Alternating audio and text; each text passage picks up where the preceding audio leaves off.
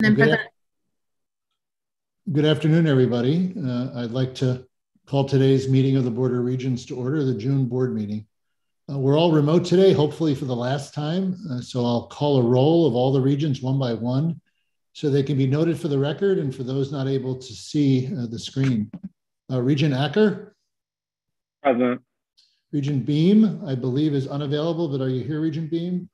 this room does. So thank you to the Arcturus team Uh, Advisors. Region Bernstein, All of your input. Um, I'll, I'll, uh, I'll quickly uh, close Region out. Bernstein, Before I do, is there any other business? To, Region Brown, and somebody needs to mute. Uh, Region Brown, Here. thank you. Regent Hubbard, here, Regent Ilitch, here, uh, Regent Weiser, and Regent White. Uh, this is the first month of service as chair for Regent Acker and uh, vice chair for Regent Brown, I want to point out. And also joining us today are all of the university's executive officers. Uh, beginning with our next meeting in September, we'll return to the Richard L. Postma Family uh, Clubhouse uh, over on the golf course and be fully in person for our public meeting in September. I'm pleased to recognize the faculty members who've been selected for the Henry Russell Lectureship and the Henry Russell Awards. The honorees are included as an information item on today's agenda. Uh, these faculty members stand out amongst their peers in scholarly research or creative activity and in teaching. The Henry Russell Lecturer for 2022 will be Donald R. Kinder, the Philip E. Converse Distinguished University Professor of Political Science and Professor of Psychology. The Henry Russell Lectureship is the highest honor that the university bestows upon a senior member of its faculty. The faculty members selected to receive a Henry Russell Award are Shanna Daly, Associate Professor of Mechanical Engineering, Roshanak Mehdipanah, Assistant Professor of Health Behavior and Health Education, Tiffany K. Ng, Assistant Professor of Music, and LaKisha M. Simmons, Associate Professor of Women's and Gender Studies and of History. I thank the faculty honorees for their dedication and their scholarship and their teaching, and also the Russell Awards uh, Faculty Advisory Committee for their work to select such outstanding award recipients. Today, we're recommending five faculty members to receive one of U of M's top honors as distinguished university professors. The Board of Regents created the Distinguished University Professorships in 1947 to recognize members of the faculty for exceptional achievement and reputation in their disciplines and for superior teaching skills. The recipients are Ruth Behar, Professor of Anthropology, Nancy G. Love, Professor of Environmental Engineering, Joel B. Slemrod, Professor of Economics, Janet L. Smith, Professor of Biological Chemistry, and Karen E. Smith, Professor of Mathematics. Congratulations to our newest distinguished university professors. The University Diversity and Social Transformation Professorships recognize faculty for outstanding contributions to excellence through their commitments to promoting diversity, equity. It's actually the reason why events like art everyone to input your vaccination status into our database via the Maize and Blueprint website. Vaccinated faculty, students, and staff no longer have to wear masks within our building, uh, except for places like the health system where masking is still required, uh, on our transportation systems like our buses, and in our classrooms for now. Also, remember we're giving away prizes for those who report their status. Our next presentation is a celebration of one type of university research that Michigan excels at.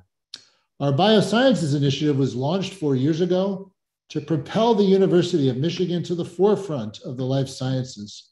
Here to discuss its success is Roger Cone, Vice Provost and Director of the Biosciences Initiative. Roger, I'll turn it over to you. Uh, thank you so much. Uh, if I could have the first slide. Uh, excuse me a moment. I have to. Um, I have to find my way around here. The presentation. Um, am I able to go to uh, half screen on this? if the IT people could start me off on the first slide and go to um, exit full screen, I'd appreciate it. There we go. Thank you. Uh, thanks for taking the time to let me zoom in today from Camp Michigania to update you on the progress of the Biosciences Initiative. Uh, if I could have the second slide. Uh, the result of a 2015 study of the bio, uh, next slide.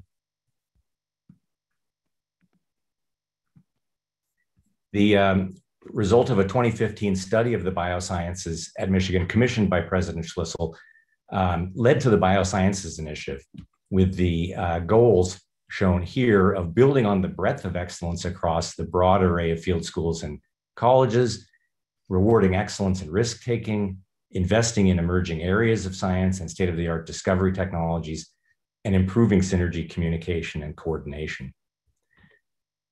In 2017, the Biosciences Initiative Coordinating Committee began by meeting with faculty chairs and deans in a series of town halls, benchmarking the University of Michigan with top peers and other university wide initiatives, and meeting with nationally uh, leading research funders from the NIH, NSF, and private foundations such as the Howard Hughes Institute and the Chan Zuckerberg in a retreat held at the National Academy of Sciences. Um, as a result of this, next slide, we then created five competitive funding programs open to all Ann Arbor faculty. Uh, these programs have led to nine new transdisciplinary research initiatives, significant advancement of the university's discovery technology through new and improved core laboratories, as well as uh, successfully hiring six new outstanding faculty members. If I could have the next slide, um, I'd like to emphasize some of the aspects of these programs that we've created. First, President Schlissel recognized a need to break down silos and leverage the breadth of expertise across the whole university in the life sciences to advance the life sciences. And thus, every one of our programs requires participation of multiple units. The result is that the initiative has already engaged 106 faculty in funded programs and a total of nearly 700 faculty use, utilizing our core labs and informational resources. Next slide. One of the programs I'm most excited about is the Ideas Lab. Uh, this program brings together 25 faculty with diverse skills with an emphasis on junior faculty to focus on a single biological problem. The first lab, for example, was focused on the problem of improving human performance. The quote from Dr. Julia Lee from the business school who participated sums up this feature. Uh, the program creates an opportunity for new faculty to engage deeply with diverse faculty across the school in a way that has not happened previously. And I'm really excited to think about how um, this really creates a transformational potential, a transformative potential for Michigan research um, by engaging new scholars in this way. Next slide. In another competitive funding program, we sought to fund important new emerging areas of research. Over three years, the BIC received 32 applications, and we funded nine of these requests, uh, distributing 30 tenure lines across these programs. Criteria for funding included participation by multiple schools and colleges, a credible path to sustainability through federal funding, and external benchmarking to demonstrate a path to national leadership in the field. And let me just highlight four of these nine programs for you. Two years before anybody, most, most anybody had heard of COVID 19 or even RNA viruses, uh, the biosciences funded a program in RNA bio, biomedicine, recognizing that RNA itself was the next generation in terms of development of both medicines and vaccines. That program is already at work looking at the next generation of RNA medicines and RNA vaccines against, uh, against viruses, for example. In the area of cancer, the, you know, there have been tremendous advances in treatment of many types of cancer. However, treatment of brain cancer really has not advanced much in really the last 30 years. We funded a program utilizing Michigan's strength in nanoparticle uh, formulation to develop uh, better ways to get medicines across the blood brain barrier to better treat brain cancer. When we went to launch our third competition for programs, the pandemic had just struck. So we canceled that competition and instead funded the Michigan Center for Infectious Disease Threats. At the time, the university didn't have an active ABSL3 containment facility, for example, for culturing SARS CoV 2. So this center is creating those resources, is uh, already has received NIH funding for some nationally leading studies in um, the epidemiology of SARS, and um, will put Michigan in a better place to be prepared for the next pandemic. Lastly, let me mention the Institute for Global Change Biology. All the effects of the Anthropocene, from climate change to increased population density, change biological systems. And the rapid spread of SARS CoV 2 is an example of that. This institute is focused on the biological consequences of human impacts on the globe. And uh, what I want to highlight here is the power of these new initiatives to recruit the best and brightest faculty to Michigan. All of the faculty recruited so far by these initiatives have been just outstanding. The Institute for Global Change Biology wanted to start by recruiting a nationally leading director for this program. They launched a national search and they got two National Academy of Science members who wanted to come head this new institute.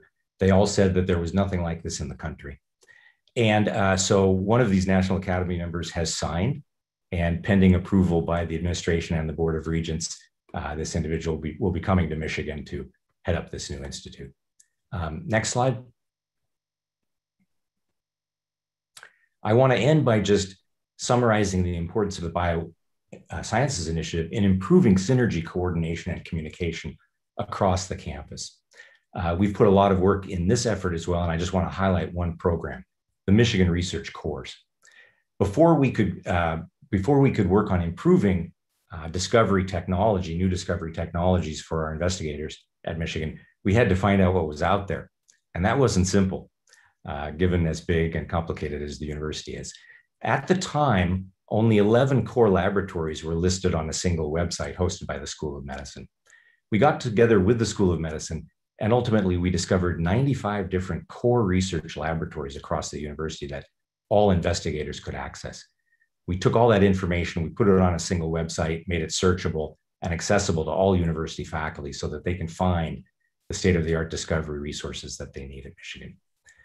So I hope that gives you a glimpse uh, into the work done by the Biosciences Initiative. We have much work ahead of us to do. Um, I hope you've received the, our full 73 page report on the progress of the initiative thus far, and I'm happy to take any questions. Uh, thanks very much. Any questions for Professor Cone? Uh, not a question for Professor Cone, but I just wanted to note that I'm jealous that he is at Camp Michigania today. Uh, the camp has done a spectacular job adapting to the pandemic. It's almost like a normal camp here. And uh, my granddaughter insisted I come up this week. So I'm having a good time. Well, that's that's my hometown. So say hello to all of my uh, friends and relatives up there for me. We'll, we'll do.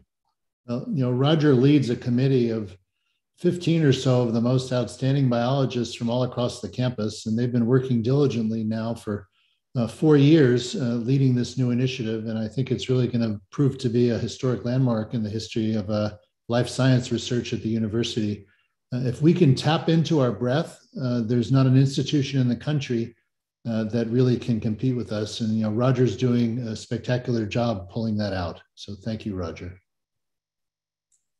shall we move on then? Um, for the next portion of the meeting, uh, the Regents and I will be joined by several members of our community to share the actions we're taking to enact systemic changes that will transform how U of M prioritizes the principles of care, support, and education in the prevention and adjudication of sexual misconduct. We hired the nationally recognized firm Guidepost Solutions to collaborate with us on this transformative work. For any organization to truly change, it must first ask whether its current culture reflects our desired values and behaviors. Answering that question requires us to evaluate all facets of the university. This is where a new chapter of our journey as a university community begins.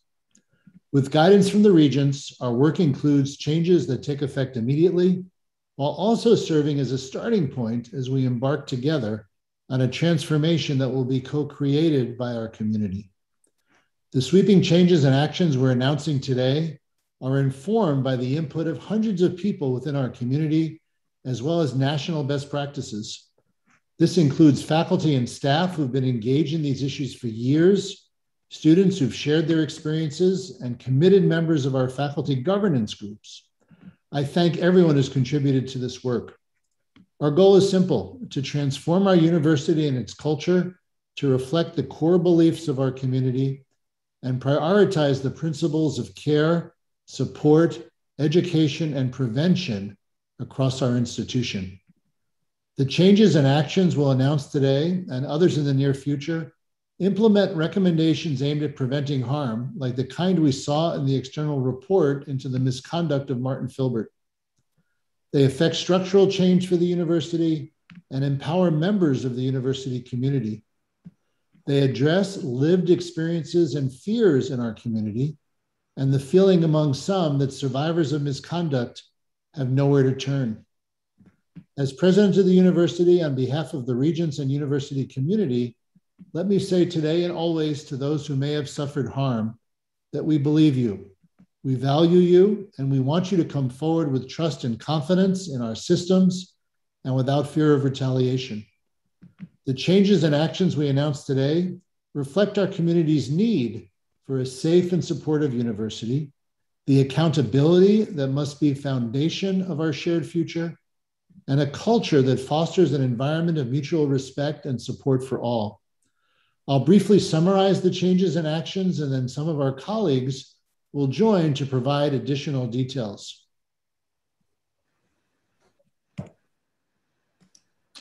First, I'm submitting a supplemental action item to create the Equity, Civil Rights, and Title IX Office.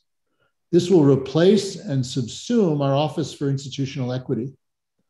The new office will lead with a focus on care, support, education, and prevention.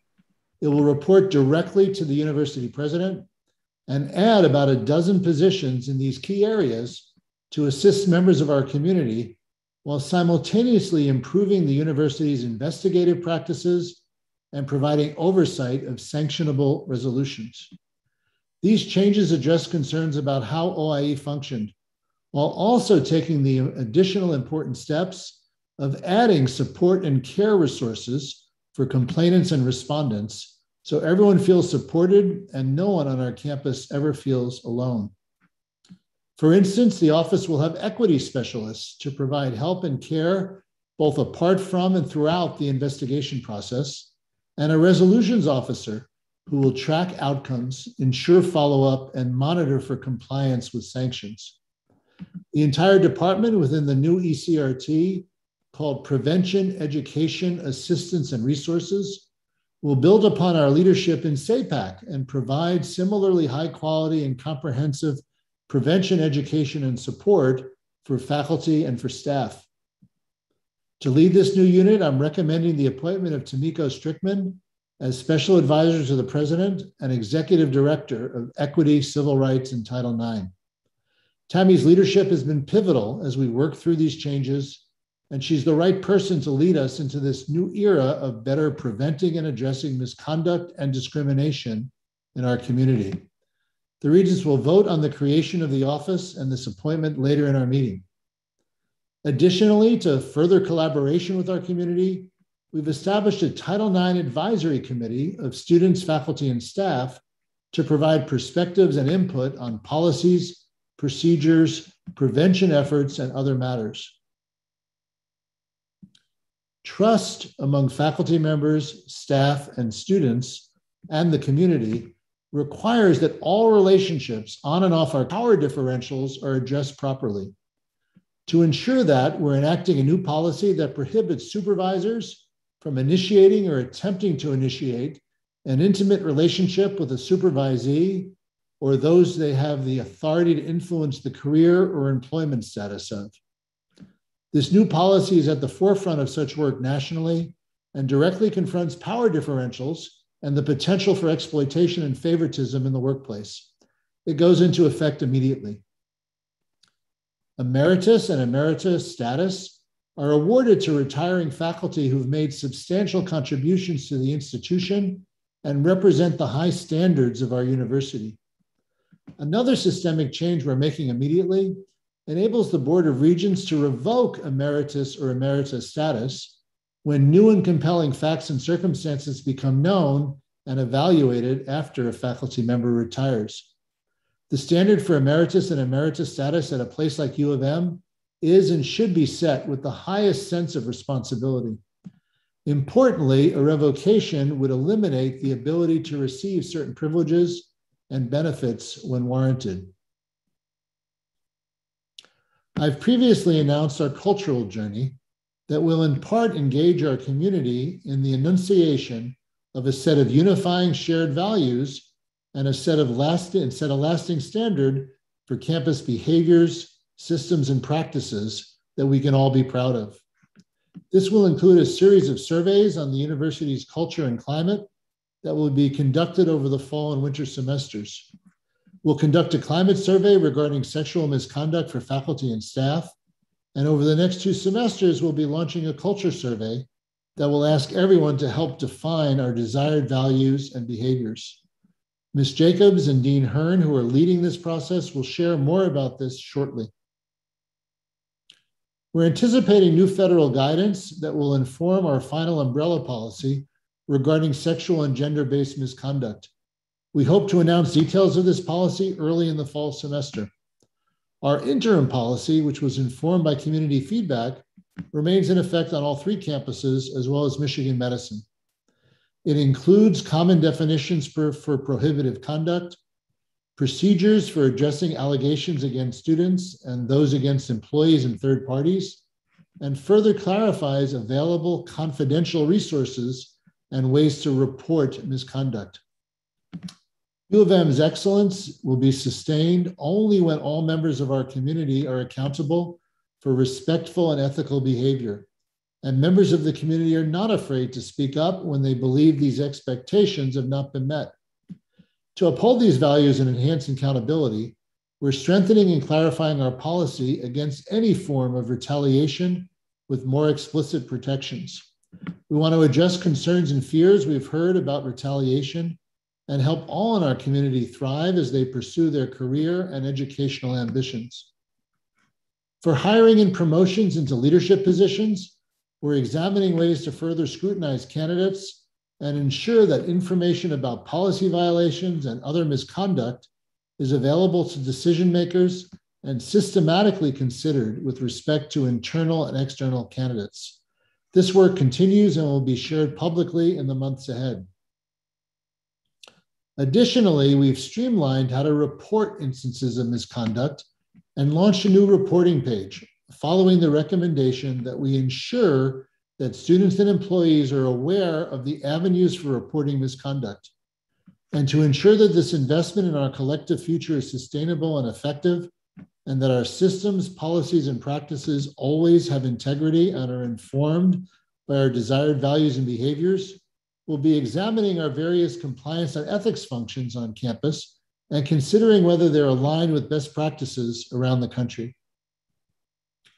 Before we share additional details, I want to express my thanks to the Guidepost Solutions team, Wilmer Hale, the many individuals across the university whose collaboration and expertise resulted in today's actions and changes, and the hundreds of members of our community whose experiences and commitment to a better U of M are making us a more supportive and accountable university.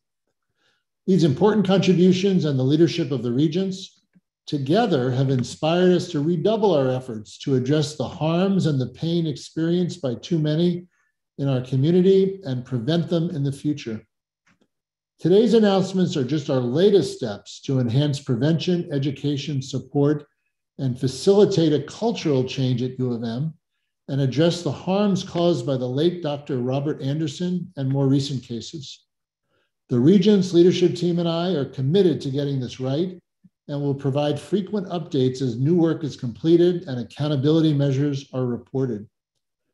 All of us at this virtual table agree that the journey to a better Michigan will be ongoing as we strive to be a place where all in our community feel the respect, safety, and support they deserve, where everyone can pursue their dreams and ambitions, and where we live up to the highest standards of excellence as a leading public university. I'd like to call upon Board Chair uh, Regent Acker for a few comments. Thank you, President Schlissel. this is an important day for our university and our community. Today, we continue the process of holding the University of Michigan accountable for harms that happened on our campus. Again, I apologize. but I commit to you that there will be no compromising on our efforts.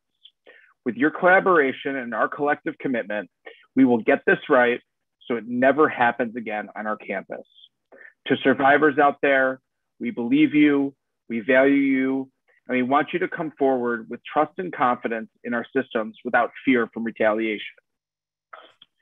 Through a year long process of understanding, listening, conversations with each other and with activists, survivors, experts in this space, I can say that I'm proud of the work we've done and the course that we are taking. I want to thank all of my fellow regents and Regent Emeritus Shauna Ryder Diggs for their efforts in making this happen. They played an important role in assisting President Schlissel in this process, including selecting guidepost solutions to lead the university's efforts to formulate and implement best in industry practices that we can all be proud of. Our expectations of these efforts are high. We are confident that we are on the right path. The University of Michigan demands the best, so we sought out the best. Thank you to the Guidepost team that continues to lead this work. Asha Muldrow, Courtney Bullard, and Bradley Dizek.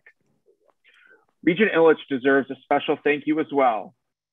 Her hard work made this possible, and I'm convinced that our campus is a better and safer place for all of it. I want to highlight a couple of the structural and policy changes that we are announcing today, which will put the University of Michigan in line with its peers nationally and put it on the path for becoming the premier program in the nation. First, the new Equity, Civil Rights, and Title IX office will centralize our work to prevent, identify, and respond to sexual and gender-based misconduct across all three campuses and Michigan Medicine. This office will also enhance resources to educate our community about and support those impacted by sexual violence and harassment. It will do so with care and in a trauma and culturally informed way. And where sanctions become appropriate, a resolutions officer will be assigned to ensure accountability. I am also excited about this office's collaboration with our research experts across the university. The opportunity to leverage our faculty experts will put us a cut above all our peer institutions nationally. We are also adding a prevention and education resource for civil rights to ensure our campus is also learning about the diversity and inclusion aspects of sexual and gender-based misconduct and how to prevent discrimination of other protected classes. I want to recognize Tammy Strickman, who I will vote to approve as the first executive director of this new office. This executive director position will report to the president and have access to this board. So if the, there is ever an issue that requires escalation, Tammy will have the independence and authority to do so. This institution recognizes the importance of accountability and the need for an environment free of retaliation for reporting. In fact, when I have met with groups from students, SACUA, other faculty, these issues are brought up constantly as problems. To address these challenges, I'm excited that our community will embark on a journey to transform our culture led by Dean Patty Hurn and Sonya Jacobs. Together, we will define our desired values and behaviors so that our systems, policies, and practices all have consistency and integrity. We will create a culture where all are held to account and communicate with each other without fear of retaliation. To this end, it is crucial that the University of Michigan continue to work with Guidepost Solutions to assess the integrity and effectiveness of our systems, policies, and practices, and ensure that our ethics and compliance program is in line with national best practices. The work on this continues. For example, 85% of Association of American Universities have a centralized ethics and compliance office and codes of ethical conduct. We do not have either. As I said, the work must continue. Another of these new policies that we are announcing will be a new standalone protection from retaliation policy, which we will talk about more during a fall board meeting. Additionally, today we are introducing a new standalone supervisor relationship policy where supervisors will be pro prohibited from initiating or attempting to initiate a relationship. We recognize that our faculty and staff are adults, and as adults, they must be free to en enter consensual, healthy relationships. The power differentials, however, inherent in our institutional structure must be mitigated as too often they can lead to abuses of power, conflict of interest, favoritism, harassment, or even coercion. This first in the nation policy is designed to mitigate conduct that is unwanted but may not arise to levels of harassment, which is covered by our sexual misconduct umbrella policy. I want to pledge to the community, to survivors, to our students, faculty, staff, and alumni. This is not the end of the road, but the beginning of our collective journey to hold this institution accountable. We have an obligation to be the leader when it comes to national best practices, and I welcome your continued engagement, as well as my colleagues, in making sure that we get there. Lastly, I want to pledge to our community, students, faculty, staff, and survivors that this board will do everything in our power to ensure that we not only learn from past mistakes, but do everything possible to prevent, identify, and respond to misconduct and discrimination. And most importantly, comes to national best practices. And I welcome your continued engagement, as well as my colleagues, in making sure that we get there. Lastly, I want to pledge to our community, students, faculty, staff, and survivors that this board will do everything in our power to ensure that we not only learn from past mistakes, but do everything possible to prevent, identify, and respond to misconduct and discrimination. And most importantly, regain the trust we need to make sure survivors feel protected and know they are not alone. Today is the beginning of that work. I look forward to continuing to work with all of our stakeholders to make that happen. Thank you. Uh, thank you, Regent Acker. Uh, I'd like to introduce now uh, Tammy Strickman and Karen Williamson. Uh, both have been outstanding leaders in our work, respectively, as Associate Vice Provost for Institutional Equity and Director of our Sexual Assault Prevention and Awareness Center. Uh, Tammy will present via a video as her internet connection may not be sufficient, but she's joining us by phone as well in case there are questions. Uh, so I'll turn things over to the Tammy Strickman video. Good afternoon. I'm very excited to talk about the Equity, Civil Rights, and Title IX Office, or ECRT. This is a brand new office which will shift the culture from one of investigation to one which leads with support and prevention. There are several new significant changes to the ECRT, including directly reporting to the president. This reflects President Schlissel's commitment to this work and the prevention of sexual misconduct. The ECRT will collaborate regularly with our respective offices on both the Flint and Dearborn campuses.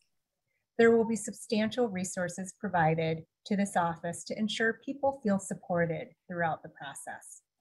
First, there will be a support coordinator and equity specialists who conduct the initial outreach with a survivor to make sure all resource and reporting options are fully discussed in detail.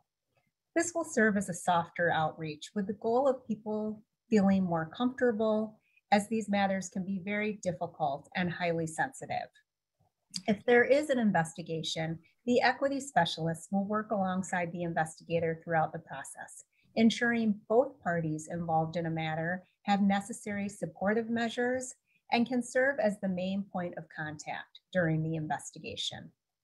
A resolutions officer will also be added to the staff to ensure that all matters have appropriate follow-up.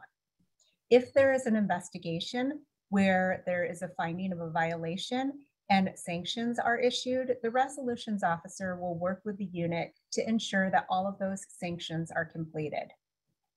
The resolutions officer may also serve as a resource for some of the units who are looking for some guidance in what appropriate sanctions may be. Most significantly, a brand new unit will be added to the ECRT, which will dedicate resources solely to prevention and education work. The Prevention Education Assistance and Resources Unit, or PAIR, will work with units to create helpful and effective prevention programs, as well as to build out education and training programs, both from the ground and expanding on ones that already exist.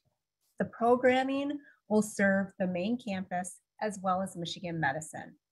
As this unit evolves, we plan to initiate a volunteer group of people within their respective units who can collaborate and partner with PAIR and can serve as a liaison and assist their colleagues within the unit to answer general questions and to point those colleagues with the focus being one of support. We want people to really feel comfortable reaching out to us as a resource and feeling comfortable throughout a process. We are thrilled to get started on this work. Thank you, Tammy. Uh, Karen? Thank you so much, uh, President Schlissel. Um, since 1986, SAPAC has been a national leader in such long before I ever thought about working here. And while SAPAC has offered confidential advocacy and support for survivors, students, staff, and faculty for many years, SAPAC's primary prevention and training focus has been students through peer education and a robust student volunteer program. Recently, SAPAC piloted a new program focused on engaging faculty and staff, and we have found a receptive audience and word of mouth for these programs and workshops has resulted in increasing requests for this work. I am so pleased that SAPAC will have a new partner in this work with a new prevention department pair within the ECRT office. Having a department specifically focused on providing prevention, education, assistance, and resources for our faculty and staff will have a great impact on campus and on our students. Its location in a unit focused on equity, Title IX, and civil rights across campus will also position it to be more to effectively work with faculty and staff across the institution and with other departments also focused on faculty and staff development.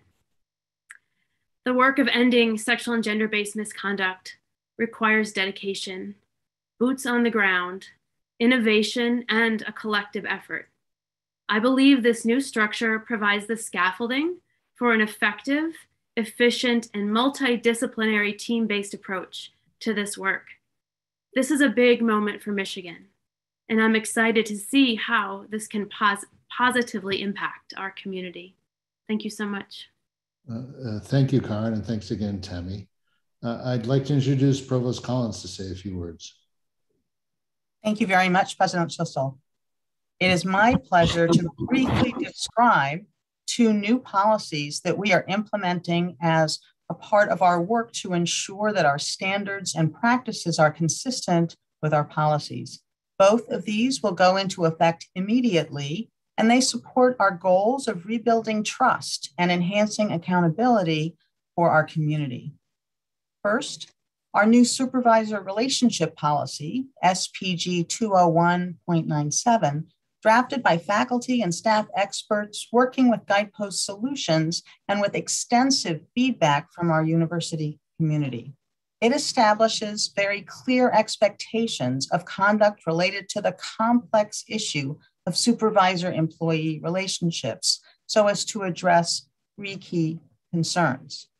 First, we address the concerns related to potential abuses of power by establishing that a supervisor may not initiate or attempt to initiate an intimate relationship with someone who reports directly or indirectly to them or over whom they have career influence, and there are no exceptions. At the same time, we fully recognize that such relationships may exist without supervisor initiation or coercion and may have preceded the university employment. So we address concerns related to favoritism by establishing that any such relationship must be disclosed.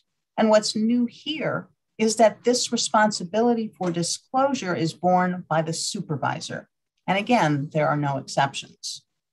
Third, we address issues of conflict of interest and leadership accountability by establishing that the higher level administrator must develop and oversee a management plan that removes the conflict of interest, and review that plan at least annually to ensure that it is still effective. This policy is intended to be uncomplicated and straightforward, and it frames our approach in a new way while upholding our community's expectations. And this policy reaffirms our values that do not tolerate abuse of power or coercion.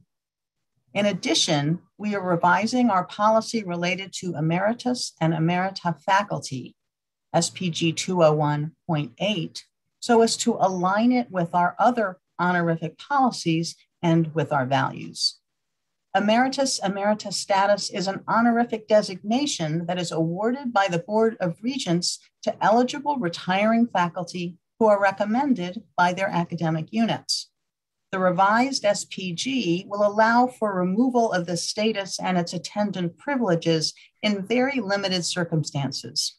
Specifically, it's been narrowly crafted to ensure that its scope reaches only those cases in which misconduct or other compelling facts and circumstances become known after the status has been conferred.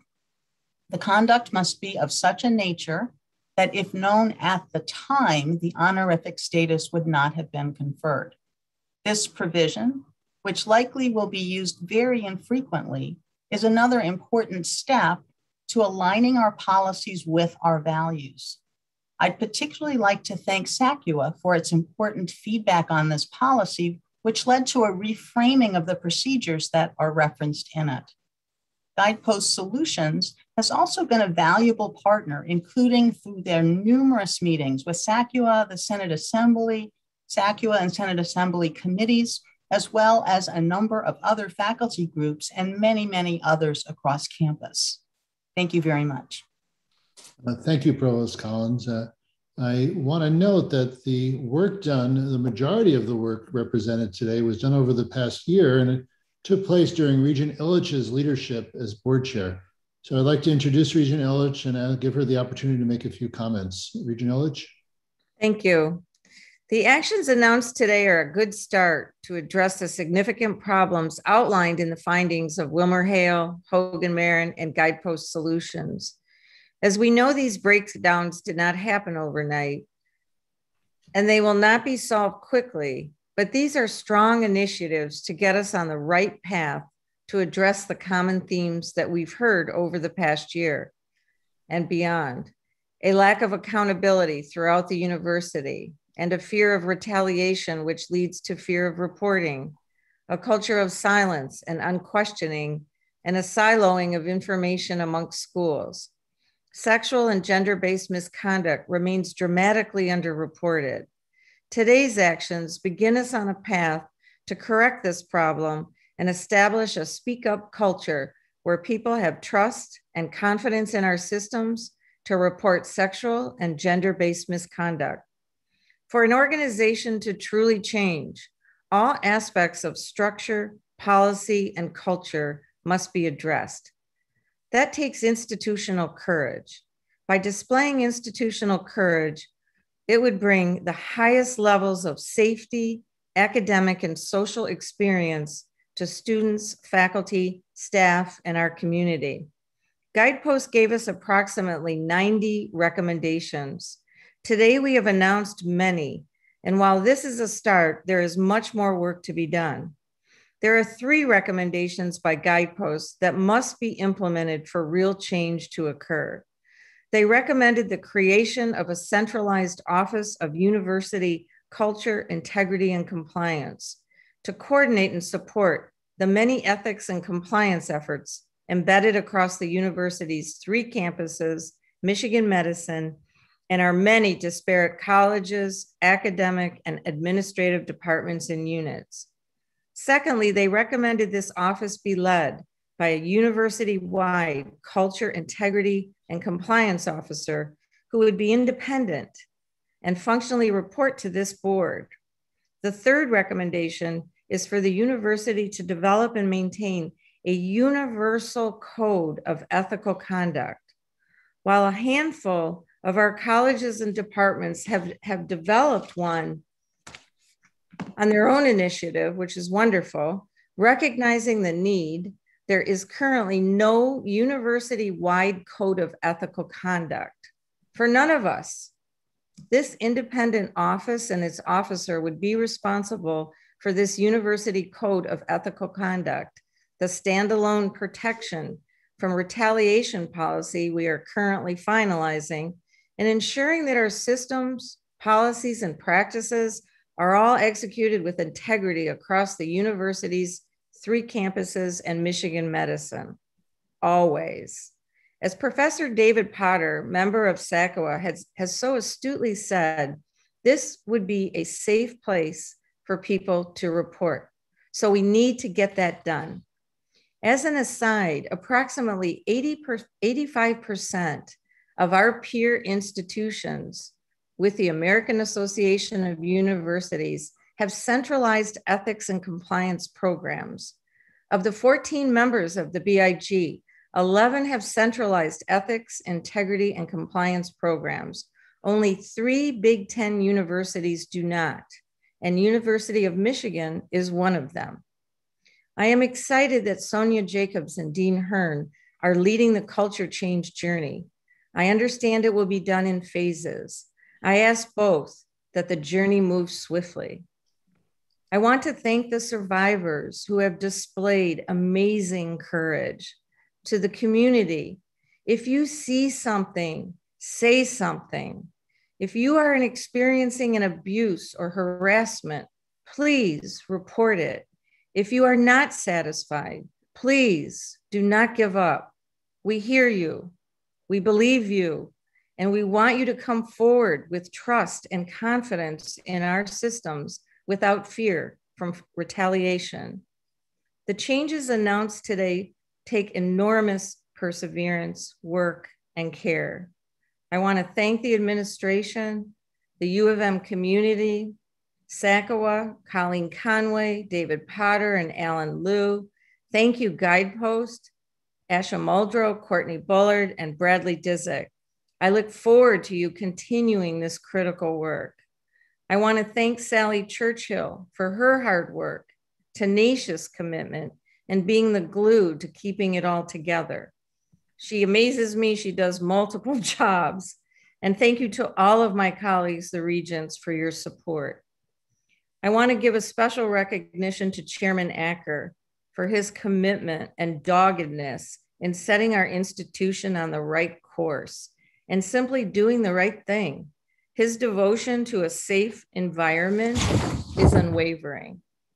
In conclusion, I want a culture that refuses to tolerate sexual and gender based misconduct at this university and will continue to work towards that every day.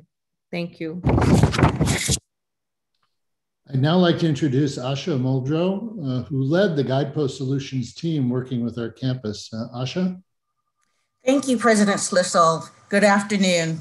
My name is Asha Muldrow. I am leading the Guidepost Solutions team helping the University of Michigan to transform its culture and sexual and gender based misconduct practices, to prioritize care, support, education, and prevention. To date, we have had more than 300 listening sessions with university leadership, tenured and non tenured faculty, staff, and survivors. Our listening work will continue. And we have been consistently impressed by the quality of everyone on campus and everyone's collective desire to affect meaningful change. This has truly been a collaborative effort, and we thank all of the university stakeholders for their hard work and dedication creating solutions. The actions announced today place the University of Michigan in line with national best practices with the resource commitment and the creation of the ECRT, the Equity, Civil Rights, and Title IX Office, a comprehensive centralized function that will lead with care and support.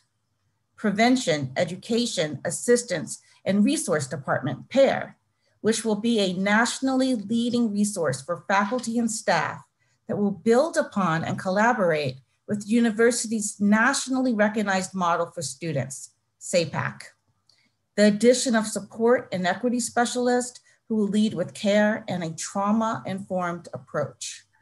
The alignment with university research experts to continuously examine and improve the university's practices and procedures and approaches to survivor care. And the establishment of a position for civil rights education to focus on issues of race, gender, sexual orientation, gender identity, diversity, and inclusion. the University of Michigan has committed to becoming the premier program for equity, civil rights, and Title IX in the nation. Of course, sustainable change requires the commitment of everyone on campus to get involved. The approach must be holistic, and most importantly, change must be embraced from both the bottom up and the top down. We are pleased that the university recognized the need to go on a cultural transformation journey to define its desired values and behaviors, to inform the university's systems, policies, and practices so that they are executed ethically and always with integrity. All of these actions combined will place the University of Michigan on a path to become a national leader, an example for peer and aspirant universities and colleges nationwide. We want to thank President Schlissel and the Board of Regents for going all in with these actions and doing it the right way, and for making a commitment to continuing this work so it is sustainable and consistent with national best practices. And in some instances, being a leader in setting the next practice. The University of Michigan seems truly committed to reaching its highest ideals. There is still a lot of work to do, and this is just the beginning of that journey where the entire university community will play a role in defining the future. We look forward to continued collaboration and commitment to achieve a safer and healthier campus community at the University of Michigan. Thank you. Uh, thank you very much, Asha, and also uh, to you and your colleagues for working so closely and effectively with us the last six months or so. So thank you. Uh, I'd like to next introduce Sonya Jacobs and Dean Patricia Hurn. Good afternoon, and thank you, President Schlissel. I am honored to co-lead the working group on culture change with Dean Hurn, whose purpose is to help us to create an environment of mutual respect and accountability that is free of retaliation, where everyone can feel safe to report misconduct and feel supported throughout the process. Based on my experience in organizational development and consulting with peer institutions doing similar work, we're beginning with the identification of unified shared values. Shared values aligned with behaviors lay the path to our desired culture. Our culture change effort will be conducted in phases, with most of the major deliverables completed in under 18 months. Our work also recognizes the microcultures and climates that exist across our campuses. We're engaging our regional campuses to understand their cultures and climates, where they are on their own cultural journey, and how we can support them by assigning dedicated resources to partner with and support their efforts. As mentioned, there will be several surveys and focus groups conducted over the fall and winter semesters that will inform and enlighten us on the culture and climates that exist. Dean Hurn will speak to the composition and specific objectives of the working group. Dean Hurn. Thank you, Sonya. Um, the objectives of the working group are fairly tightly focused. The first is really having to do with establishing clearly what the university wide code of values is. As many of you may be aware, we do not at present have such a statement or visualization. And so the first objective is actually to create that. Many and almost all of our schools and colleges and entities across the university have statements of values. And so, working with the faculty and staff of ISR, the Institute for Social Research, we're actually going to move forward with creating a description and a visualization of the network of those university wide values that reflect the sum of its parts. In other words, what we believe. The second objective that we have is really focused on evidence. The idea is, is that we want to assemble and really analyze evidence that there may be unspoken and perhaps not transparent values that are at present and at work in our community. And if that is true, then that will help us understand the potential for mismatch between our public values, the values that we have now visualized and described, into those values which are not so transparent. The third, having said what we believe, come with some evidence of where we stand will be to come back and to engage the community at large to provide feedback on this visualization and network of values for the university, and also to fully understand what factors might prevent community members from feeling safe. And any possible disconnect that we're able to identify that, are, that does exist between the stated values and the real lived experience. You know already the leadership of the working group but I would also share with you that we have memberships selected from a wide variety of groups around campus. I won't list them all, but they certainly include faculty, for example, through SACUA, heavy student representation, the voices of staff, and many, many pieces of expertise. The individuals on that advisory group, the working group focus, have been selected to provide synergy between this working group and the many other pieces and activities going on across campus. That synergy should allow us to move much more quickly and much more effectively as we move into the third phase of really engaging the community at large. With that, I'll stop there and thank you, and I'll be happy to take any questions. Thank you very much, uh, Dean Hurn, and thank you again, uh, Sonya, Sonya Jacobs. Thank you very much. Uh, so I, I, think without further ado, we'll actually move on to the uh, regular agenda, regular business agenda of the meeting, beginning with the consent agenda. Uh, minutes and reports are up on our website. Um, uh, we next have an update from Chancellor Grasso.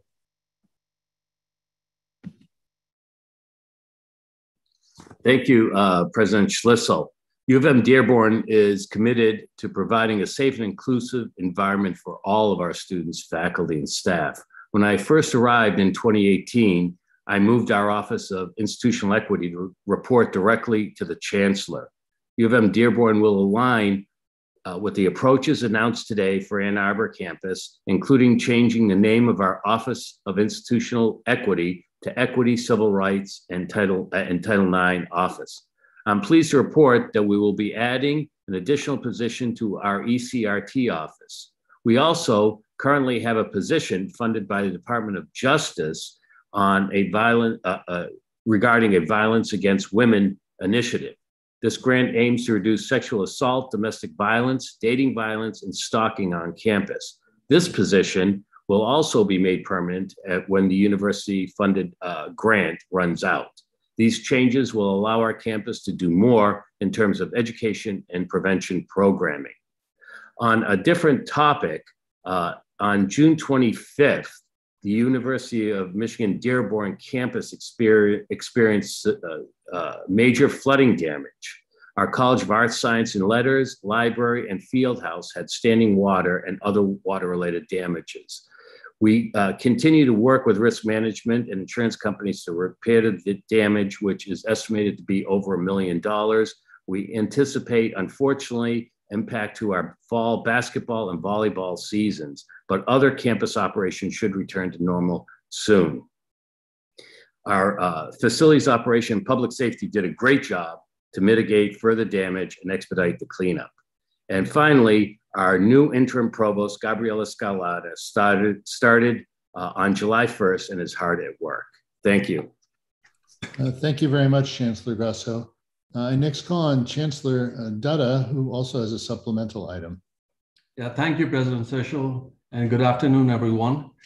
Let me also begin by saying that at U of M Flint, we are committed to having our campus aligned with the changes in Ann Arbor that were described earlier regarding sexual misconduct policies.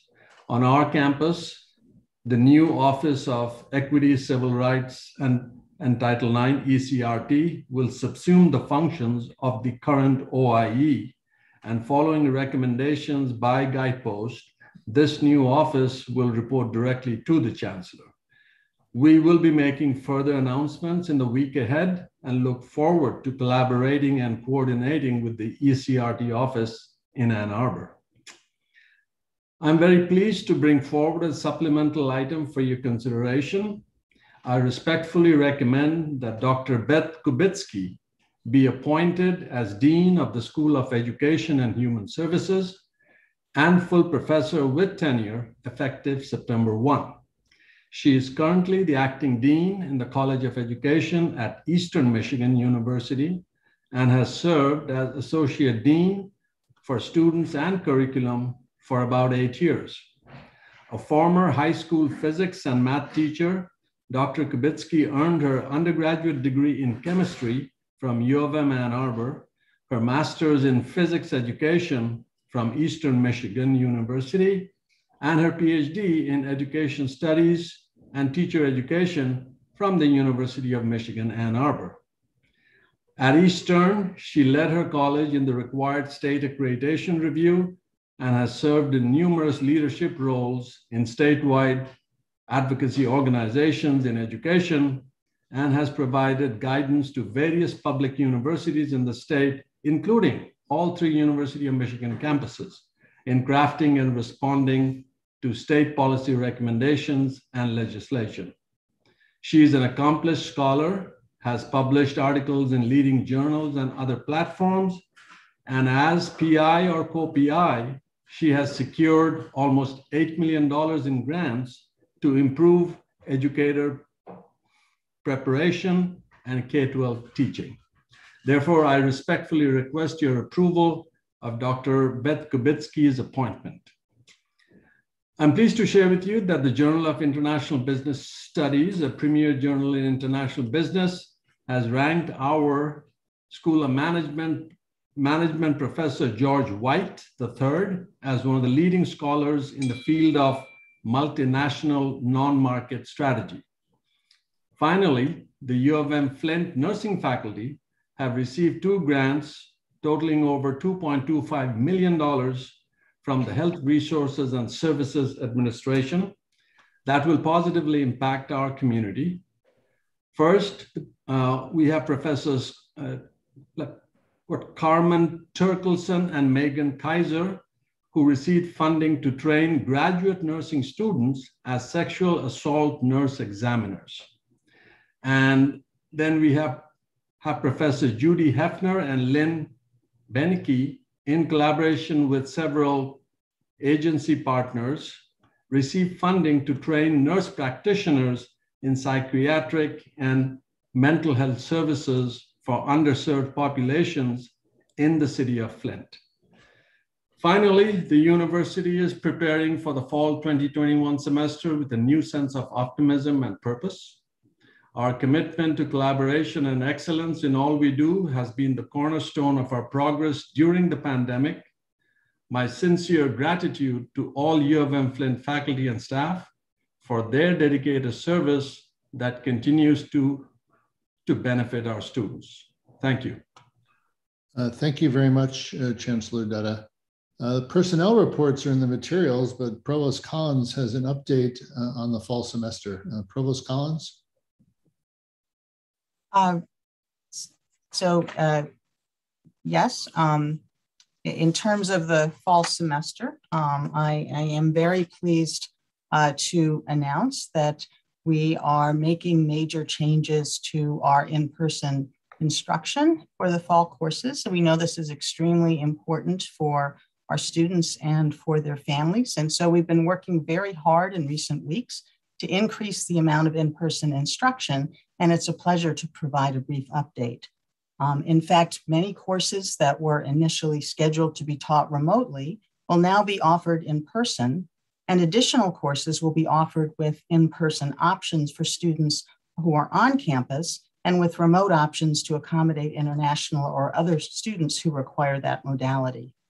This shift to more in-person includes many of our large introductory undergraduate courses and in particular, our College of Literature, Science, and the Arts is moving over 45 large courses to in-person modalities, which increases in-person instruction options for thousands of our students.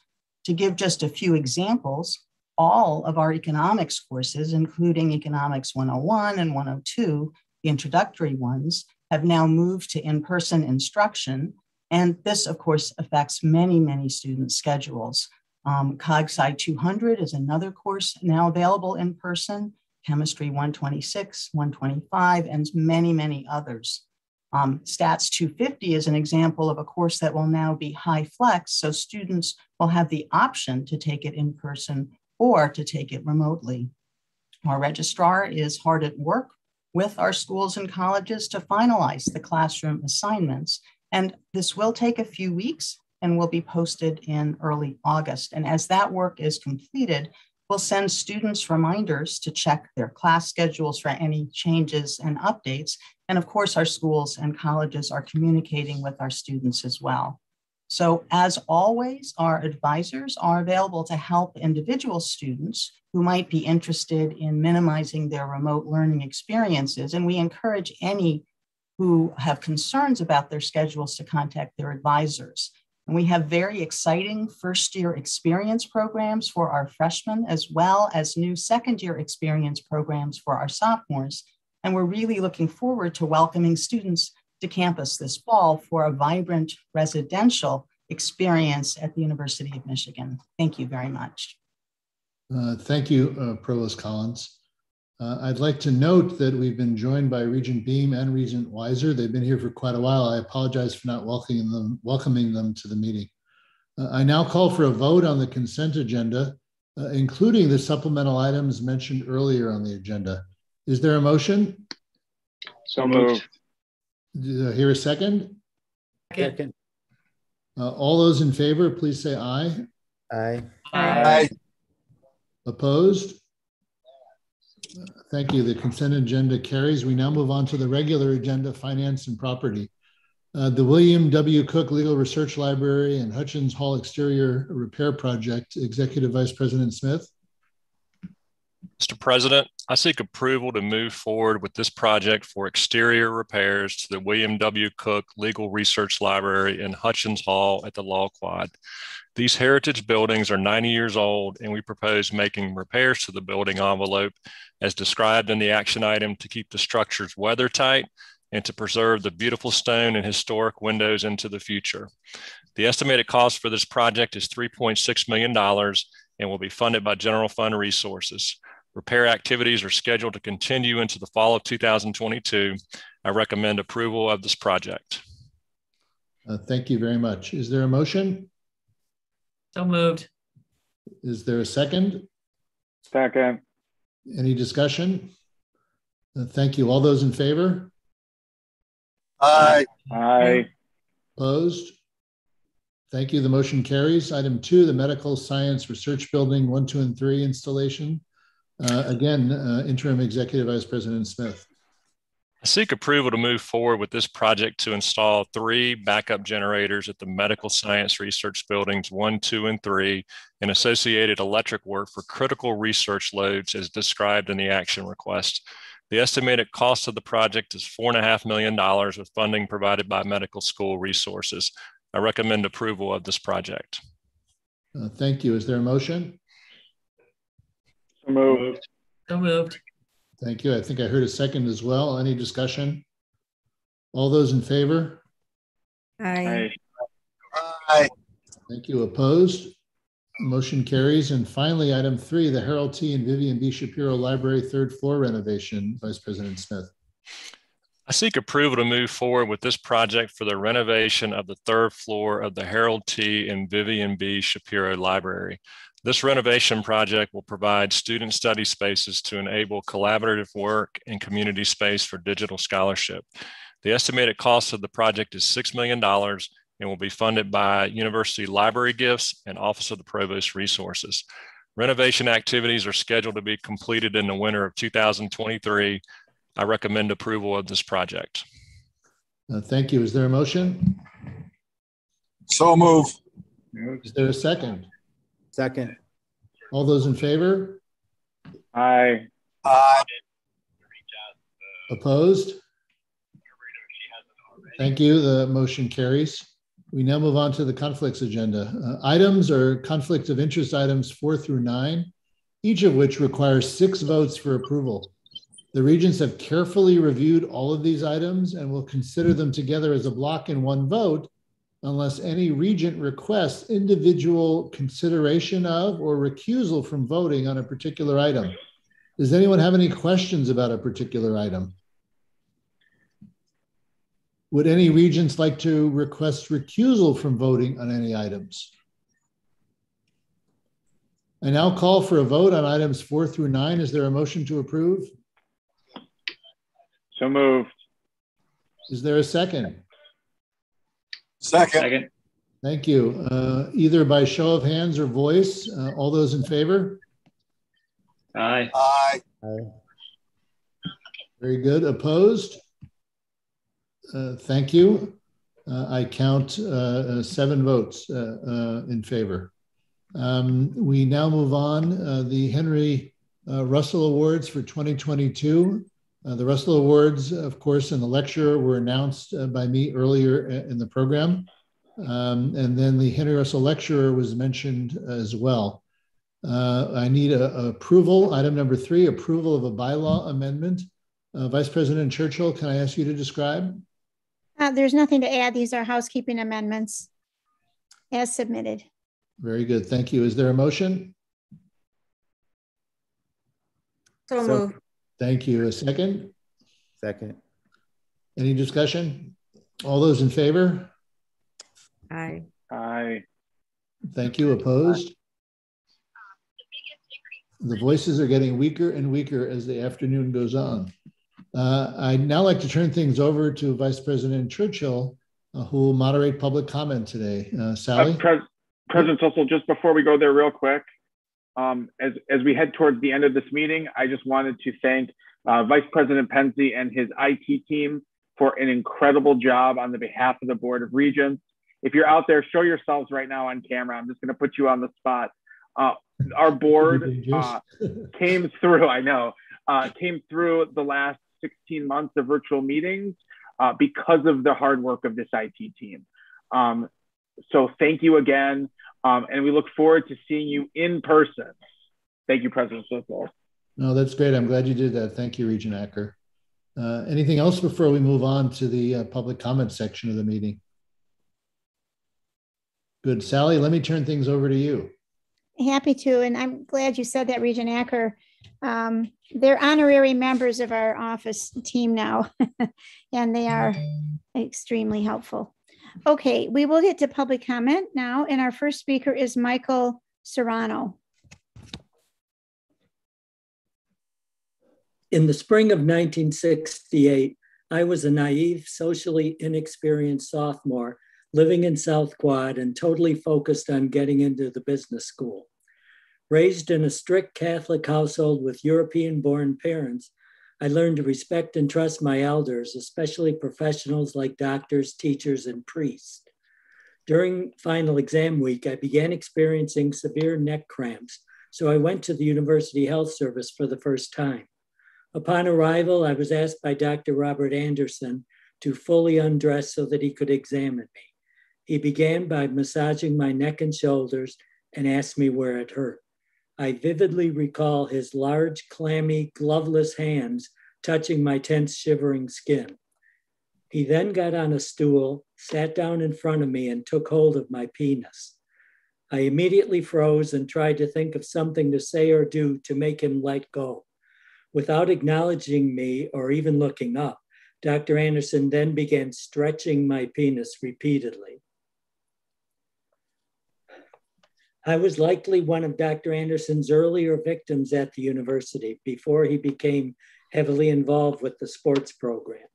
Regrettably, after my encounter, I was too shocked, embarrassed, and guilt ridden to tell a single soul for nearly 52 years until I saw his photo in the Detroit Free Press that brought it all back.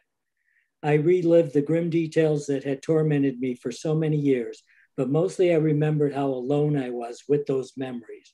There was no one I could turn to who might have made me feel that I was not alone or that the incident was not my fault. And now that it's evident members of the university staff were indeed made aware, but chose or were told to turn, turn a blind eye, it makes those memories even more profound. I completed both my bachelor's and MBA at the University of Michigan. I'm married with three children and four grandchildren and have had a successful professional career.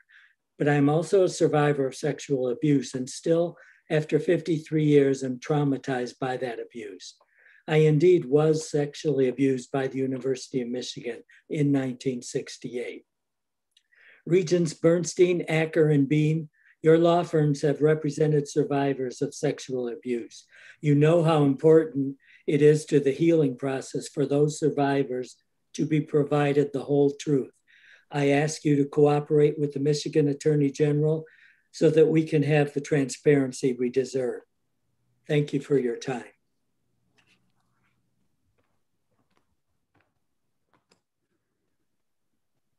Sorry, I had to get off mute. Um, our next speaker is Chandra Montgomery. Nicole.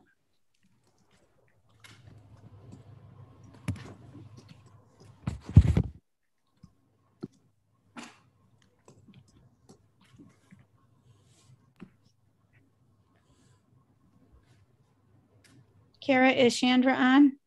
She's been unmuted. Okay, Chandra, you're. Sorry, I didn't realize I would have to do that myself. Thank No. you. Okay, no worries. Go ahead. Um, thank you to the Regents for having me uh, and, and to the rest of you from the university and to uh, my colleague who, who just spoke about his experience. I'm the daughter of a career staff member at the University of Michigan.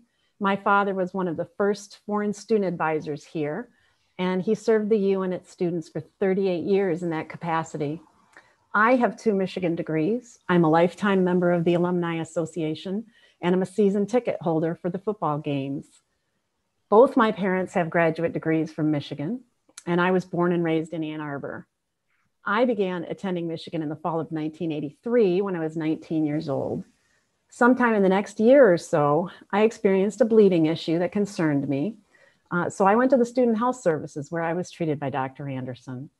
I won't take the time to uh, discuss the details here, but I will tell you the consequences I suffered from just one encounter with him.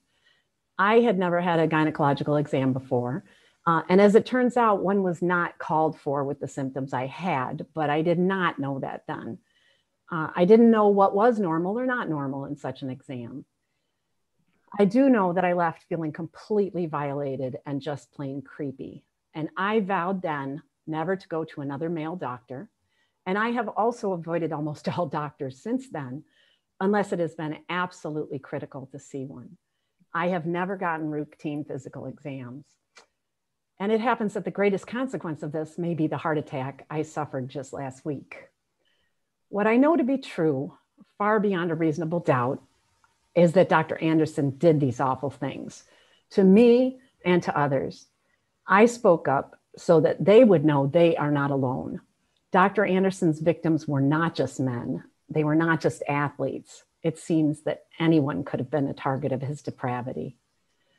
I don't know exactly who knew what or when. What I do know is that you, the regents of the University of Michigan, are responsible to protect it, to protect its students, both current and past, to protect its reputation and its integrity. You have the opportunity now to lead with the best through acceptance of the failure of this institution and through action. I hope and pray that your new chapter does begin and you can be true to the Michigan man spirit in your decisions and by providing transparency to survivors. Thank you for your time.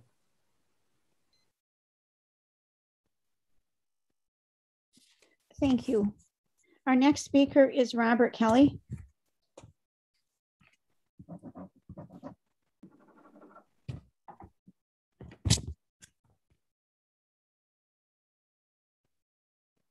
You can go ahead. Okay. All right. Sorry, I uh, Um, didn't see that oh, button. I- It's okay. Okay. Can you hear me now? Yes, we can. Thank you very much. Sorry for the delay. Uh, I'm Robert Kelly. Thank you for seeing us uh, here today. I'm a victim of rape and sexual abuse by the predator, Dr. Robert Anderson. I could have remained anonymous and was happy to do so at the beginning of this process. However, I felt compelled to come forward and out myself and support my brother and sister victims of sexual abuse and rape at the University of Michigan. I have not had a good life. It's been filled with major ups and downs, mostly downs at this point, admittedly. I lost my wife, two sons won't speak with me. I lost my $200 million company, of which I owned 80% of the voting stock. I've suffered from alcoholism. I filed bankruptcy, and I have confidence and trust issues across the board, including intimacy issues with women. I even went to prison. This collective experience is a tragic way to live one's life, all because you were attacked and raped as an innocent young man who did not know what a normal physical exam should be. It was only after the lightning bolt received from President Schlissel through his unencrypted email in 2020 that I discover I was one of hundreds of rape and sexual abuse plea bargain in the hopes of receiving a lighter sentence and possibly avoid being raped in the super tough prisons where they send inmates with long prison terms. I spent 21 months of my life in prison at Fort Dix, New Jersey, and years under the scrutiny of the Department of Justice. It was no picnic, and since leaving Fort Dix, I've sent out thousands of resumes to try and find work, and no one will even respond. As I think about the tragedies which have hit my life, they funnel down to one seminal event the rape of Robert Kelly by the predator Dr. Robert Anderson, empowered and allowed to do so by the University of Michigan as it was notified of his conduct repeatedly. Coaches, trainers, and school officials all knew, but did not stop Anderson as described in the WilmerHale report and multiple media sources. Thank you all very much for your time today. Thank you. Levi Todd.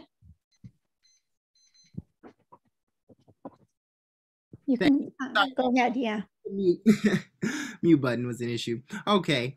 Um, greetings, everyone. President Schlissel, members of the Board of Regents, and executive officers. I'm honored to speak before you today and give a brief update on the University of Michigan Flint student government. During the month of June, student government held its executive board orientation. This was our first in person meeting in over 15 months. During orientation, our officers were trained on how to effectively carry out the duties and responsibilities as executive members of student government. We are now promoting the White House Vaccine Challenge to encourage students, faculty, and staff to get vaccinated and report it to the university and to be entered for prizes. Our campus is gearing up for the fall semester, this year we have an amazing opportunity to reinvigorate our campus life and student body. Student government is planning to do just that. We plan to hold true to our promises of equitable approaches to recruitment, retention, and graduation. We believe that everyone has a role to play in restoring our university by demonstrating care and advocacy for one another. Student government would also like to extend support to the Leo Lecturers Union after seven months of bargaining. At the Flint campus, 60% of credit hours are taught by lecturer staff. These are the individuals whose main focus is teaching. They are highly dedicated professionals who deserve recognition for their contribution to our university. Our lecturers are the ones who spend the most time with our students, helping foster imagination and develop critical thinking skills, molding young minds to challenge the present and enrich the future. Our lecturers at the Flint and Dearborn campuses deserve pay parity. They provide a public good for our students and our university. They are the frontline heroes and they deserve better than what our university are giving them currently.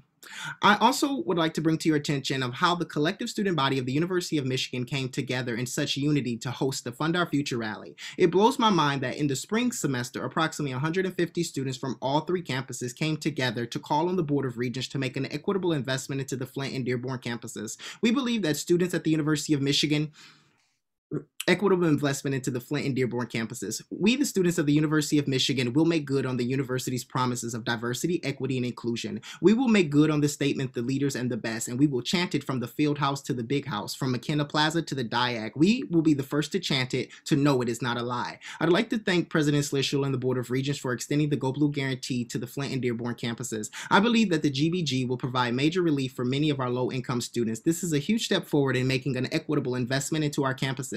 But when we look at the GPA requirement, it is another unnecessary obstacle that prevents true equity for Flint and Dearborn students. Students want diversity, equity, and inclusion, not symbolic gestures. If the governing board of this university would like to see a significant uptick in recruitment, retention, and graduation at the Flint and Dearborn campuses, I would urge the Board of Regents to lower the GPA requirement to a 3.0 to make a Michigan education more attainable. We should not lose prospective students to other public regional universities because of the 3.5 requirement. Lowering the GPA requirement and eventually removing it altogether will allow U of M Flint to cast a broader net over the state. We are the next generation who will one day lead this great state and nation forward. Be not deceived. As our leaders, we are watching you to see what true leadership looks like and what you do in the time of crisis and how you support your most vulnerable students. As students and emerging leaders, we want to one day follow in your footsteps. Lead us by example. Let the University of Michigan lead the nation on what a truly public university looks like. We made a huge step forward in the pursuit of building equity and keeping our promises of diversity, equity, and inclusion. Our work is not done, but we have to continue to press on and continue to fight the good fight. Always, God bless, and always go blue. Thank you, Levi. Um, I've now met my match. You, you can speak faster than I can. Uh, our next speaker is Crystal Rizaldi.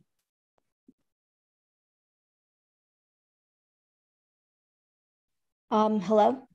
Hi, we can hear you. Okay, sorry. Thank you for the for the record, I'm not against vaccines and I trust that you all have good intentions.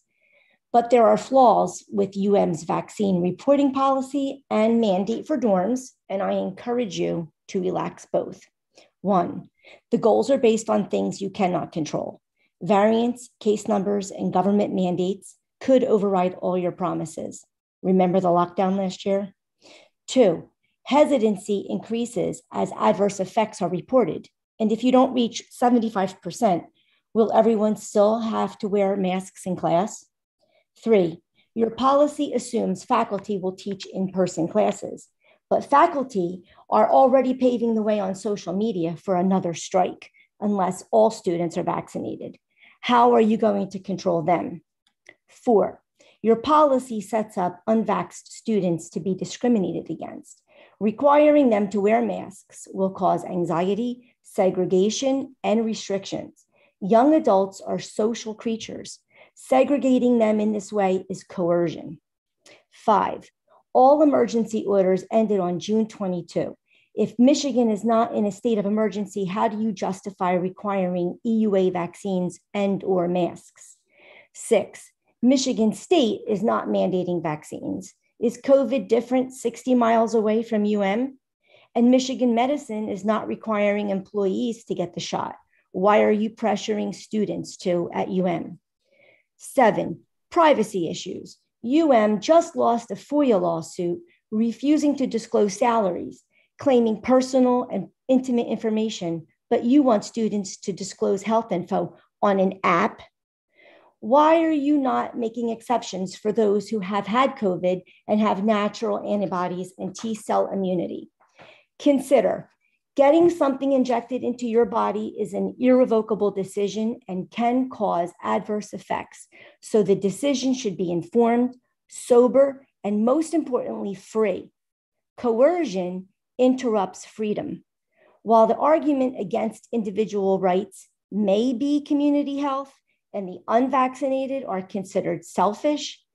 But is it not selfish to require others to do something for your own benefit and comfort? Those who want the shot have gotten it. And if the shots are truly effective as claimed, they should be protected from those who did not. Why is anxiety of some usurping the liberty of others? Ask yourselves what will the long term effects of this synthetic spike protein be on humans? You can't know because the manufacturers don't even know. Why is no one liable for the adverse reactions? Not the pharmaceutical companies or the government. So, are you willing to assume liability for the students you are coercing? Do you realize mRNA technology never made it past animal trials before they were approved for EUA? Did you know why? Because the animals kept dying? Why are the FDA and the CDC not considering available treatments?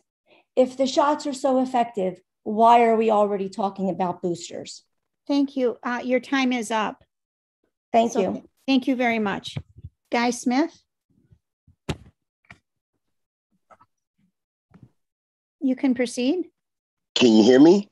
Yes, we can. Thank you. Okay, thank you. Uh, thank you for having me. My name is Guy Michael Smith, commonly known as Mike Smith. I attended a small Catholic high school in Kalamazoo, Michigan. I was a first generation college graduate out of my family. I was a student athlete who played football here at the University of Michigan from 1974 through 1979. In 1979, I was a graduate assistant on the football staff. I assisted former assistant Don Nehlen with coaching running backs and recruiting. During my career at U of M, I participated I participated in one Orange and three Rose Bowls. We won the Big Ten championships in the 74, 76, 77, and 78 season. In 1978, I was a recipient of the Champions Award, in which my teammate and dear friend Jim Hackett won the previous year. Upon graduation, I had opportunities to further my career in coaching with former U of M assistant Don Nehlen, who landed at West Virginia University, who became who was the head coach, and he coached many years there. However, these plans never came to light. I went from a GA to IBM to life in prison due to the actions taken by Dr. Anderson because he stole my fir- he stole my trust, my love for the game. And he also stole my self-worth, all my self-awareness I had attained up to this point. My growth then became stunted, which led to poor decision making, that led to two failed marriages, loss of career, one ultimately, the greatest loss of all, my freedom and my son. This is what Dr. Anderson stripped from me. My first encounter with Anderson was approximately in 1974. My last encounter with Anderson was approximately 1979. At all visits I was seen in Anderson's office, I had at least five physicals with Anderson and was abused at every visit, including my first encounter with him. I was required to fully disrobe for every visit. I experienced, I experienced funneling of my penis and testicles at every visit with Anderson. The funneling included a prolonged hernia check. I also experienced, anal penetration at the first encounter and every encounter thereafter. I saw Anderson twice in relation to my dislocated elbow. Before addressing my elbow, he said I needed a physical. He also advised that before I could go home for the summer, I would need another physical as well. He had me stripped down complete. He had me stripped down completely for my elbow examination. Excuse me, Mr. Smith, your time is up. Did you want to finish that sentence or? Your oh yes, I would. Yes, I would like to. Uh, the WilmerHale report, which was commissioned by the University of Michigan, provided 14 plus months of investigation. Alleged that several senior administrators knew and should Okay. have known about Anderson's behaviors. And I thank you very much. Thank you. Okay. Uh, Cindy Giffen. Thank you, President Schlissel and the Board of Regents for your leadership of the Ann Arbor, Flint, and Dearborn campuses of the University of Michigan. My name is Cindy Giffen, and I'm a lecturer two teaching biology in the Comprehensive Studies program on the Ann Arbor campus. I'm also one of the campus co-chairs of the lecturers employee organization, LEO. I'm here today to express our disappointment and frustration in U of M's refusal to pay all lecturers a living wage so that we can finish bargaining the LEO contract before classes begin this fall. Leo's bargaining team has been actively negotiating for over six months to achieve three key principles in our next contract dignity, parity, and respect. Based on the extension of the Go Blue Like guarantee to the Flint and Dearborn campuses, this board has recognized the importance of parity between the three campuses. Adequately funding the Flint and Dearborn campuses is a social justice issue. U of M can and should be supporting faculty, staff, and students equitably on all three campuses. The Go Blue Guarantee gives free tuition to students from families, families with incomes of less than $65,000 per year and less than $50,000 in assets. But what good will that free tuition be if there's no one uh, no extra sustainable source of funding provided to Flint and Dearborn to support and retain those who teach the majority of classes, the lecturer faculty.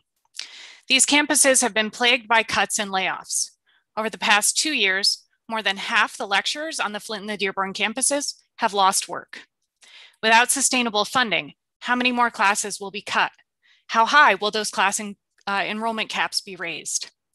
Over 85% of lecturers on the Flint and the Dearborn campuses make less than $65,000 per year, which is the income eligibility cutoff for the Go Blue Guarantee. Consider my colleague, LEC 4, Jeremy Donovan, who's in his 12th year of teaching uh, math education at Flint. Jeremy was born and raised in Flint, got one of his master's degrees from Flint, and has a PhD in math education, but only earns $47,807 per year. Another example is Eric Marshall, LEC 2 with a PhD, teaches film and media studies at Dearborn. Eric's in his ninth year at Dearborn, over 20 years total teaching experience, making $45,584 per year. Does anyone here think that for PhDs with all their years of experience, teaching four classes per semester every year, $45 or $47,000 is fair? I don't. U of M lecturers are a good investment. Pay parity across all three campuses ensures that Flint and Dearborn are able to attract and retain credentialed and skilled lecturers. Those instructors will be there for students during their four years as mentors and guides, writing letters of recommendation, assisting students as they navigate graduate and professional school applications. We provide program continuity, institutional memory. Those instructors win teaching awards and contribute to this institution's reputation as a great school. An investment in lecturers is an investment in students and in the long-term viability of Flint and Dearborn. Thank you. Uh, thank you very much. Um, Jacob Lederman.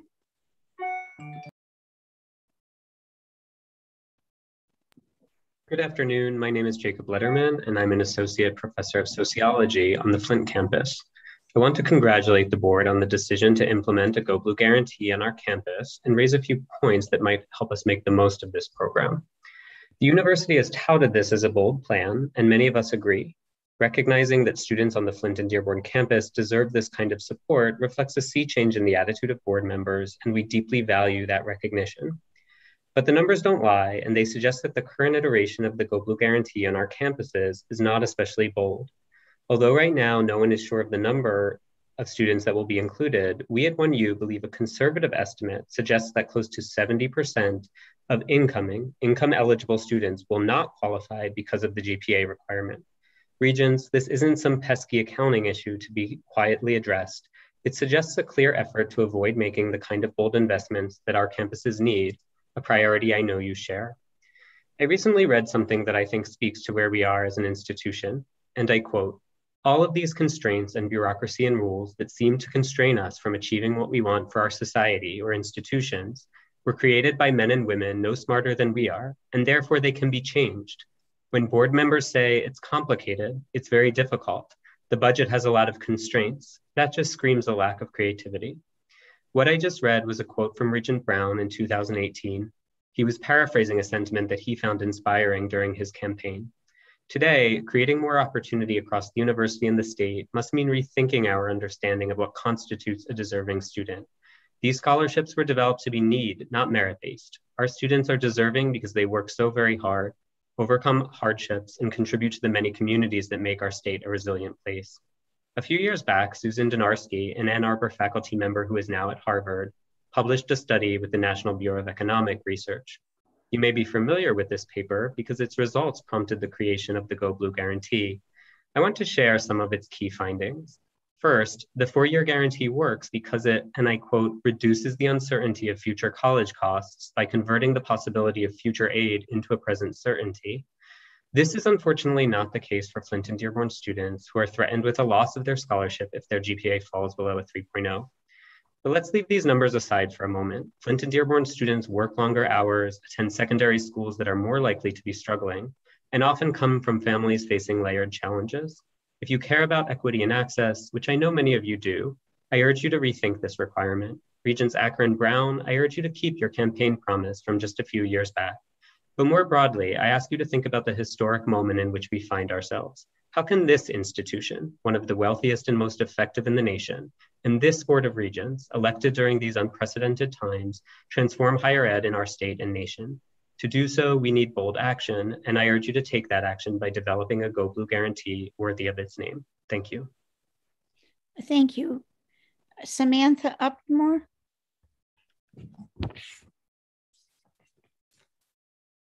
Samantha, you're Hi. Oh, Yeah. Can you hear me? Okay. Yes, we can. Yeah. Thank you. My name is Samantha Upmore, and I'm a student on the Flint campus and the former president of their student government. I'm here today to express my concern with a number of things happening on the three campuses.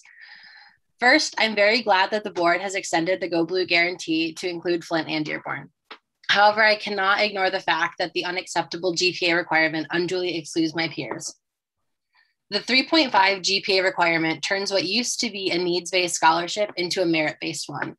The goal of the GBG has never been to be exclusive. The goal has been to let incoming students know that if you're good enough to get in, we want to make sure that you can afford to come. This new requirement changes that, quite literally taking away the guarantee from the campuses that are disproportionately lower income and have disproportionately more students of color.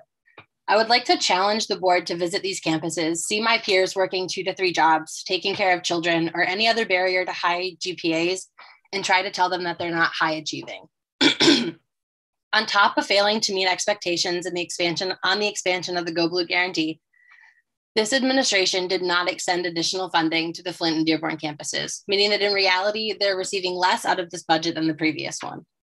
Admin took what should have been a win for equity by expanding a good program to all of their students and use it to cut funding and perpetuate race and class inequities. Finally, I'm disheartened to watch how poorly my instructors are being treated at the bargaining table. The university has refused to move on salary despite Leo's reasonable asks. The fact that one of the wealthiest institutions in the country refuses to pay its lecturers a decent wage must be condemned. The very lecturers that this institution requires to function are being denied reasonable compensation by this greedy administration, and action must be taken in order to support them. The university prides itself on arts, knowledge, and truth, claiming students that leave are some of the best and the brightest. It's time for our leaders to be held to that same standard, and it's time for our leaders to be honest about what they accomplish here instead of masking it as a win for students.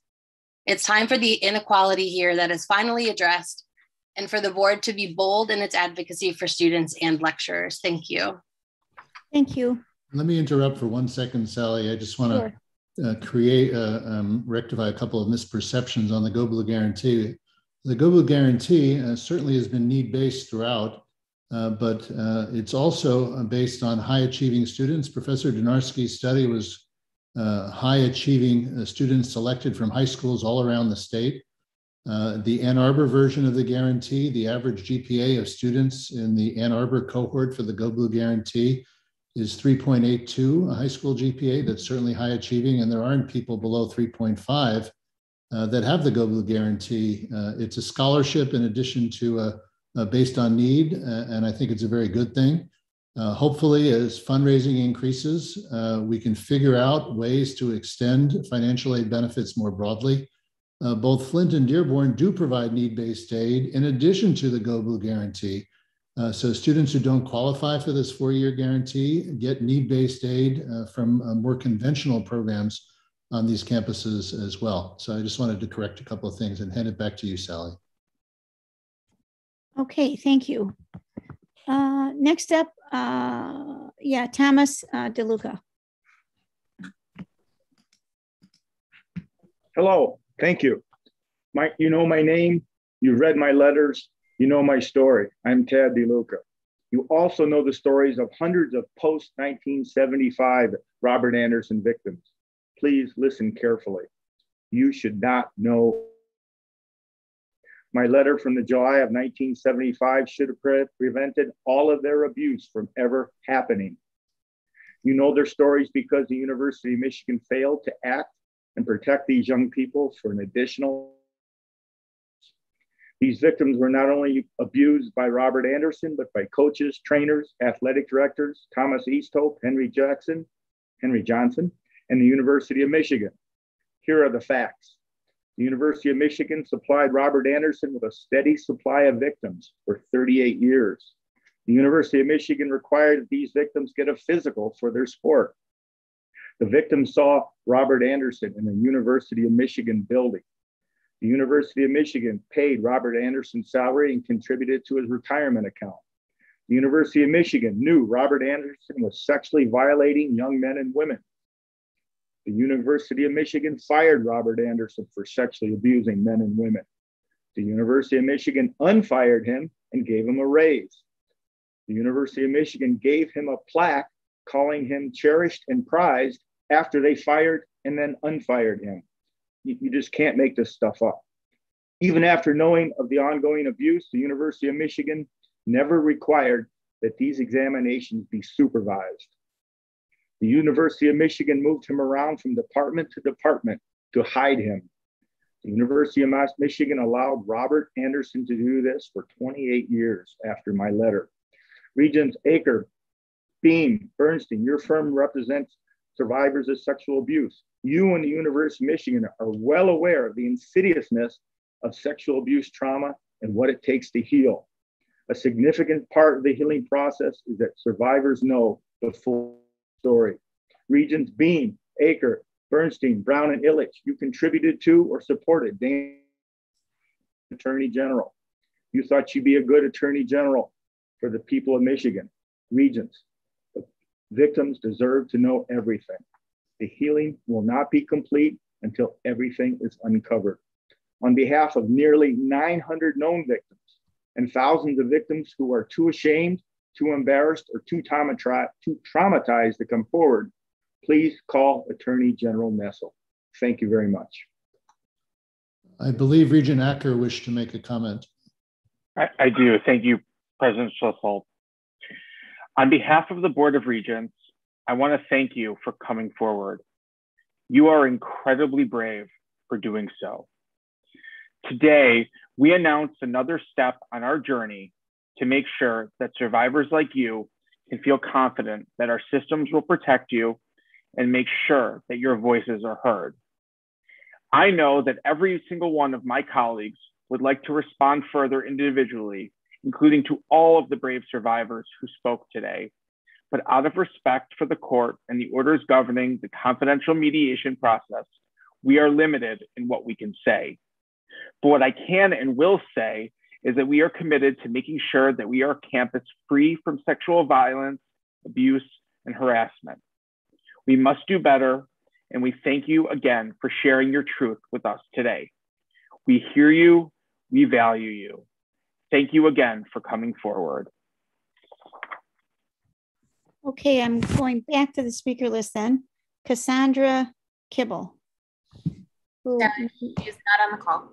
Thank you. Okay, I knew there was somebody who didn't call in. Okay. Uh, and then Lynn Keller. Good afternoon, and thank you for having me. Um, my husband is a proud Michigan alum from 89, and we're excited that our daughter is going to be uh, enrolling in the freshman class for 2025 in just a few short weeks here. Um, I had originally asked, uh, asked to speak to you regarding uh, the percentages of classes that were um, being advised to be in person. Uh, however, I think with Provost Collins's updates, I don't think I really need to um, uh, ask ask too many more questions, and I appreciate that update um, because uh, obviously the last year and a half has been very challenging for all um, uh, the senior class and the incoming freshman class, and uh, I'm, I'm excited to hear that more and more of the classes, especially the first year classes and the larger classes will be um, held in person. And um, I just wanted to uh, thank her for bringing that up so that I no longer need to speak anymore. Thank you very much for your time.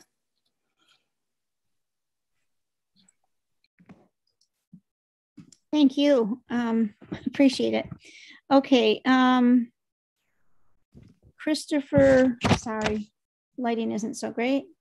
Novos? He's been on and off, but I don't currently have him. Okay. Is Heather uh, Stemple here? No. All right. Well, then our last speaker is uh, Stacy Ashley. Hello, hi. Um, my name is Stacy Ashley. I'm a registered nurse at University Health Service. I'm here to speak to you about COVID and the $1,500 CARES Act bonus that was provided to our Michigan medicine counterparts, but was not awarded to me or any of my colleagues here at UHS. My ask today is that you find a way to rectify this and recognize UHS staff equally for the work we've done over the past 18 months related to COVID. For those that don't know, University Health Service provides healthcare to students, staff, and faculty here on campus. We offer general medical services, specialty care, diagnostic services. That's roughly 150 staff members caring for this community, keeping full services open throughout the entire pandemic, opening our doors seven days a week to ensure our patients were safe and well cared for with kindness and compassion during extraordinary times somehow our staff were not deemed worthy of the same recognition as Michigan Medicine.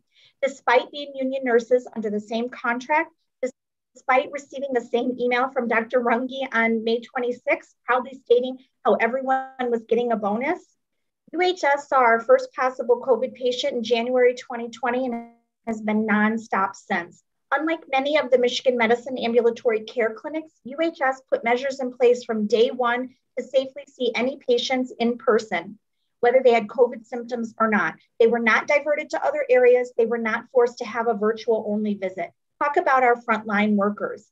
Our medical assistants, lab techs, nurses all donned their PPE to see these patients, not to mention the countless hours staff spent day and night pulling in patient data, planning, and coordinating care. UHS has been featured in multiple news sources highlighting our efforts around COVID, had nurses nominated for Service Excellence Awards, and a nurse practitioner received a prestigious professional award for her work related to COVID. We created numerous testing programs across campus, uh, including the pop-up testings in the dorms and for, uh, for fraternities and sororities, delivery, um, for those in isolation, graduation testing, and the auxiliary uh, testing location at the Power Center. UHS alone had almost 19,000 COVID tests come through our doors since March of last year, which includes performing the actual swab, assessing, placing orders, providing education, and follow up. And while you may be familiar with the campus statistics of over 450,000 tests done since March of 2020, did you know that almost every positive case, nearly 6,500, had follow up by UHS staff to make sure their medical, mental health, and physical needs were met. Partnered with Michigan Medicine in several efforts throughout the pandemic with labs, occupational health, seeing ill Michigan Medicine employees, testings, vaccines, and our UHS providers even authored COVID policies and patient education material utilized at Michigan Medicine today. To have our efforts minimized is insulting to say the least. It is demoralizing to staff in an already stressful, difficult time this is why I'm here. Neither our union nor leadership across the institution considered us in this, that we are all under the same institution, all governed by the same board of regents, providing comparable services as Michigan Medicine, and should be afforded the same recognition for these remarkable efforts. Thank, Thank you. you. Thank you very much. Uh, uh I just wanted to say one thing, Sally. Um, mm -hmm. Stacy, I just want to thank you uh, for all of your service and all of the work. Wow, that's a that's an enormous amount of work and responsibility. So thank you for that, and thank you for bringing this to our attention.